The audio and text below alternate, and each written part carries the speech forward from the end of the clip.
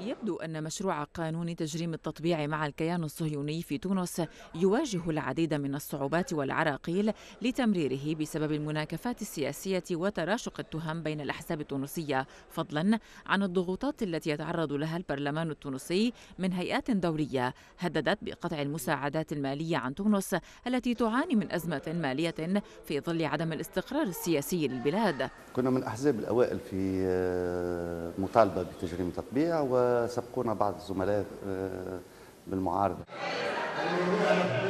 وقد شرع البرلمان التونسي منتصف الشهر الحالي الدخول في مناقشة القانون المتعلق بتجريم التطبيع مع الكيان الصهيوني حيث طالبت الجبهة الشعبية بوصفها صاحبة المقترح بالموافقة على تمرير مشروع القانون بانتظار مناقشته من قبل الأطراف المعنية وسط مطالبات أحزاب بتمريره كواجب وطني على كل تونسي. أنا في بالي هذه مسألة عليها إجماع وطني.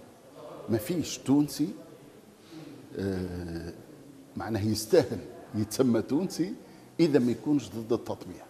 يرى مراقبون أن قانون تجريم التطبيع مع الكيان الصهيوني فرض على الحكومة التونسية ضغوطات اقتصادية ودبلوماسية غير مسبوقة. حد التهديد بحجب المساعدات لإثناء تونس عن المضي في خيار تجريم التطبيع.